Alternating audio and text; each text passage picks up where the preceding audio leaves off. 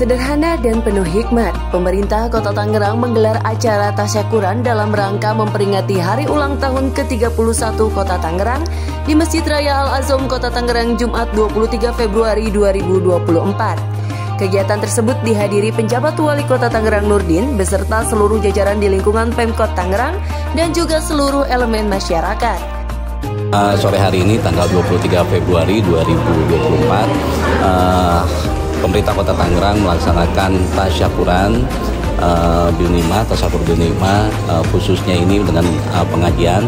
Dan dalam pengajian ini tentunya melibatkan uh, semua unsur masyarakat, semua unsur masyarakat yang ada, semua stakeholder yang ada, baik dari unsur ulama, dari unsur pegawai, kemudian dari uh, para santri dan semua lapisan masyarakat uh, ikut uh, melaksanakan pengajian doa bersama sehingga harapannya ke depan dalam rangka hari ulang tahun Kota Tangerang yang ke-31 ini semoga Kota Tangerang semakin maju, semakin sejahtera dan berdaya saing.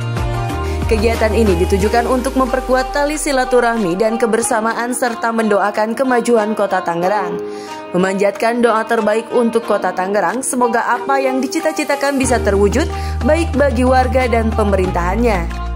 Tentunya harapannya ke depan kita uh, semakin bertambah usia, tentunya kita semakin uh, sinergi, semakin solid, uh, tentunya untuk mencapai visi yaitu kolaborasi wujudkan visi sehingga apa yang menjadi tujuan kita sama-sama untuk mewujudkan masyarakat Kota Tangerang yang lebih maju bisa segera kita wujudkan. Dalam kegiatan ini turut dihadiri Habib Nabil Syauki Al-Kadri sebagai penceramah.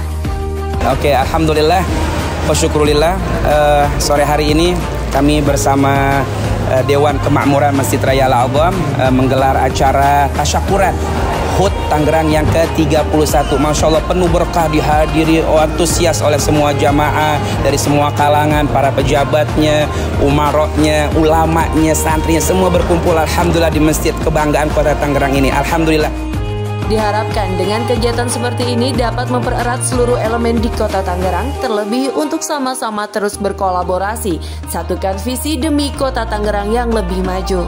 Bunga Mardika Rani, Ananda Dining Putra, Tangerang TV.